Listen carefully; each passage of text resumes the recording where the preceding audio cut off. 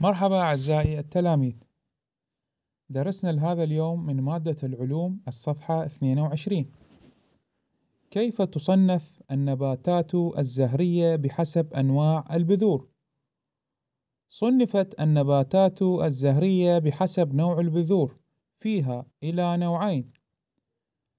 الأول يسمى ذوات الفلقة الواحدة. الأول يسمى ذوات الفلقة الواحدة.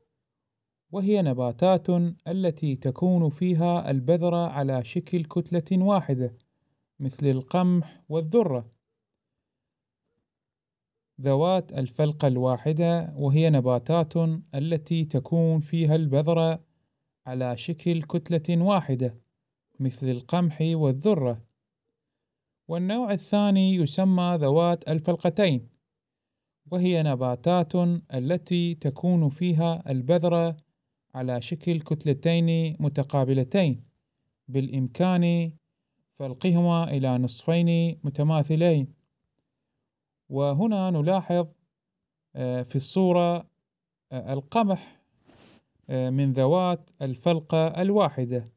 القمح من ذوات الفلقة الواحدة. إذا يتم تصنيف النباتات الزهرية بحسب أنواع البذور إلى صنفين. الأول ذوات الفلقة الواحدة والثاني ذوات الفلقتين. وتتكون البذرة من ثلاثة أجزاء رئيسية. وتتكون البذرة من ثلاثة أجزاء رئيسية.